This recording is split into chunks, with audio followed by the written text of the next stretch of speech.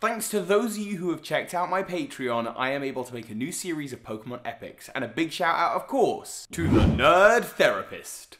Hey, Pokemon Masters, Birdkeeper Toby here, and I'm sorry, I can't help but keep on rearranging. My set has changed again. If this is your first video watching, then hello, this is the first set that you're seeing. But I seem to change up my set like every couple of weeks, and it's just, I have this compulsion to rearrange my room like all the time. And also because I have like one or two videos pre-filmed, don't be surprised if you see some stuff on the previous set. But if you see stuff moving around, don't worry about it. Speaking of those videos upcoming, they are part of my sponsorship that I'm I'm doing with DeNA to do with Pokemon Masters. This video is not sponsored by DeNA or Pokemon Masters, but it is to do with it, kind of. Because one of my favorite things about the game has been uh, unlocking the characters, the various characters, and learning about their lore and their stories, because some of their stories have been further expanded upon. And one of the more interesting ones that's shown up recently is Agatha of the Kanto Elite Four. Agatha, a specialist of course of the ghost type Pokemon, although I think more Pokemon on her team are poison than ghost, but she is a specialist of these types. In the Pokemon manga, she appears as a big adversary uh, to the main characters and is, I, I, think, evil. I think she's a member of Team Rocket. I actually haven't read this far, I just like looking at the pictures. And the one thing that everyone knows about Agatha, more, more than anything, is that Agatha has some kind of secret history with Professor Oak. When you challenge her in Pokemon Red, Blue, Leaf Green, Fire Red, Let's Go Pikachu, or Eevee Yellow, whenever you interact with her, she always says the same thing. Professor Oak speaks really highly of you. He used to be so handsome and strong, but now he's just an old coot fiddling with his Pokedex. He is a shadow of his former self. Those lines of dialogue have absolutely captured me and so many of us. So many of us, of course, taking the words handsome and charming and strong to think, oh, she definitely had a crush on him and they must have shared some kind of romantic relationship that went wrong. And it's more than likely that with Oak being an old man that he's had a number of romantic relationships. I mean, he has grandkids. And we have no idea who Blue and Daisy Oak's grandmother or even parents are. I've done a theory before, taking the characters of Agatha and Oak as the grandparents, Bertha as the mother. Bertha is from the Sinnoh Elite Four, and I'm gonna get back to that in a bit. And then yeah, Gary slash Blue slash Green if you're in Japan, being the grandchild. But now with Pokemon Masters, I'm thinking it's not so clear cut.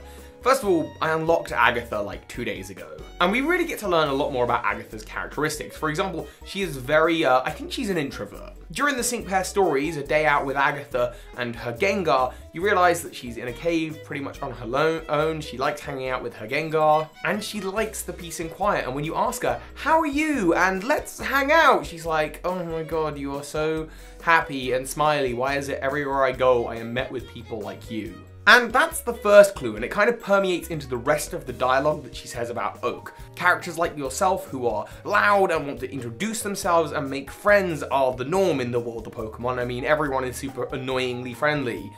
Uh, this guy.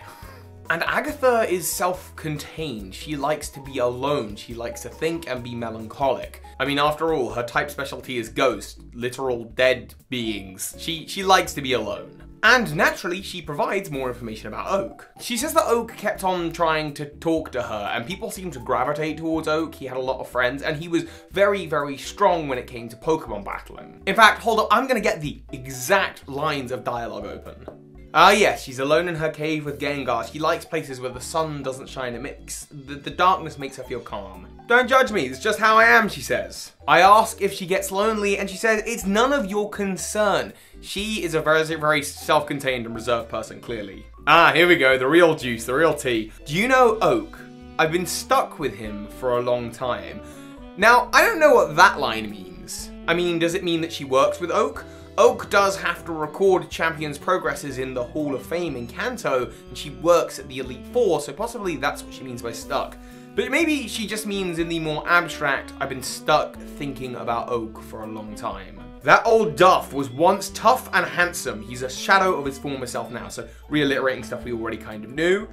Um, he does know a lot about Pokemon, which is why he's already surround always surrounded by people. He used to shine so brightly. Compared to him, I'm the quiet type when it comes to Pokemon. I like to get lost in thought. I was doing what I liked, but then that Duff Oak would not stop talking to her. So again, kind of just Oak being Professor Oak, enthusiastic about Pokemon, talking probably at her a lot about Pokemon. I think he was just trying to be nice, but he was giving me help I never asked for. So clearly there's some kind of scenario, perhaps Professor Oak being a teacher, giving her lots of advice that she doesn't want. And Agatha's like, leave me alone, let's have a Pokemon battle. But turns out, of course, that Professor Oak is really blooming good. In fact, according to Agatha, Oak was undefeated, and I think this ties into the Pokemon manga where Oak was the first Pokemon champion, I think. Right, yeah, and all this time they spent battling, clearly he started meaning a lot to Agatha. Now that doesn't outright say a relationship, that just says he meaned a lot to her. Maybe from Oak, this was just like purely, purely platonic battling. And here we go, one day he ruins it all saying that he wants to make a Pokedex. Pokemon are for battling, he wouldn't listening, he wasted my precious time, and he'd had enough of our battles, and he left. He left with her having never defeated him. Why did charming men have to be so meddlesome? He trampled all over my youth. So this happened when they were very, very young. I think that's a good place to stop. Oh, and my um my light went out. That should be turned. One moment. Sorry about the lighting change. That was the uh, power of Agatha's ghost types messing with the set. Anyway, point is, I think we can start seeing the picture being painted here. She didn't like him very much at first. He talked at her a lot and she was like, let's battle so you can shut up and leave me alone. They battle, but he's really good undefeated. She can't beat him, and as a result of his battling powers, she actually grows to respect and maybe grow some fondness towards him. But it seems likely, and the reason that she still resents him to this day is twofold. One, it never materialized into anything. As she says, he was wasting her time. He was like, I'm gonna make a Pokedex because I'm Professor Oak. And she's like, no, you uh, keep, you should keep battling with me. And then, obviously, he's oblivious, as we all are. So he just, he just goes. He goes to make the Pokedex. It's not that she thinks the Pokedex is dumb. It's that she's frustrated that Oak left before the relationship could become anything. Which actually kind of confirms the idea that Agatha is not Blue or Gary's uh, grandmother. Father? She's definitely not, she's definitely not their father, but also not the grandmother.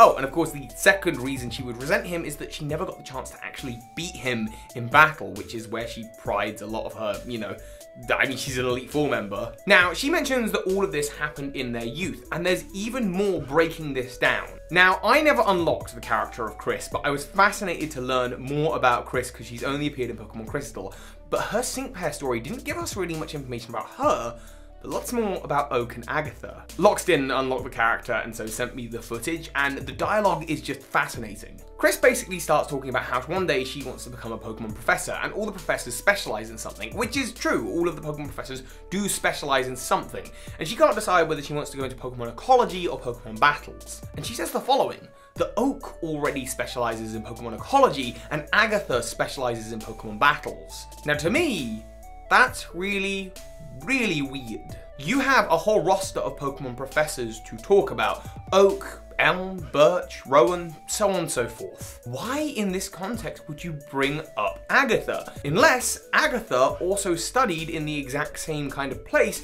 that Oak did when they were younger. During their youth, they were both studying to become Pokemon researchers, and Oak decided to go into Pokemon ecology and make the Pokedex, and Agatha decided to go into battlings and ultimately became an Elite Four member. Chris kind of shines this light onto their backstory, and it turns out, because while I haven't read the manga, I only look at the pictures, after googling it, Agatha does in fact mention in the manga that Professor Oak used to be part of their research group. Now, there's a kind of hidden bit of Pokemon lore. It's super, super obscure that all of the uh, all of the Pokemon professors studied at the same university, the uh, Celadon University. That's actually apparently just an established bit of lore that is superseded throughout, I think, bits of the TV show and bits of the games, and it, it's like really obscure. But perhaps in their youth, Oak and Agatha both studied at this university together. She just wanted to get on with her projects. She He talked at her a load. These battles ensued. Oak was really, really good. She never got the chance to beat him, and before too long he was gone, but by that time he had already charmed her, and so that kind of built up this lifelong resentment. But there's one more part to this. Because as we all know, at some point or another, Professor Oak lived in Eterna City. He has a house in Eterna City, and supposedly when studying to become a Pokemon professor, he also studied under Professor Rowan, who is the Sinnoh region's regional professor. And this is where we get a little bit super speculative, but what if he went to make the Pokedex, and in order to do that, he went to do his kind of doctorate in the Sinnoh region, where as a young and beginning Pokemon professor, Professor Oak learned about Pokemon ecology under Professor Rowan, lived in Eterna City, and maybe, just maybe, had a brief relationship with Bertha. See, the Elite Four member Shauntal mentions that Bertha and Agatha look an awful lot alike. Which, yeah, I mean, they kind of do. They are also both Elite Four members, and of course, Bertha is of the Sinnoh region. We don't know too much about Bertha. But if Oak's research had taken him to the Sinnoh region where he had met Bertha and formed a relationship, that could really cause some resentment from Agatha if they are known in the Pokemon world to look kind of alike. And it would make sense with the previous video that I did about Oak's family tree because in the TV show, Bertha has a cousin once removed who looks kind of a little bit like a young Gary Oak. That said, that bit of this Pokemon theory is very, very speculative. So yeah, maybe take that bit with a pinch of salt. But I think one thing is for sure. When they were younger, Oak and Agatha were both part of the same research group. She developed feelings for him, but there wasn't some big relationship, and Agatha is not Gary's grandmother. Because Oak being oblivious to romantic advances and only being interested in Pokemon, Oak never returned those feelings and instead disappeared to go make his Pokedex. But of course, that is just my kind of two cents on this Pokemon theory. Of course, you're gonna have to let me know what you think in the comments. Be sure to leave a like, otherwise I'm gonna have my Snorlax here sit on you. And of course, thank you so much for taking the time to watch this video.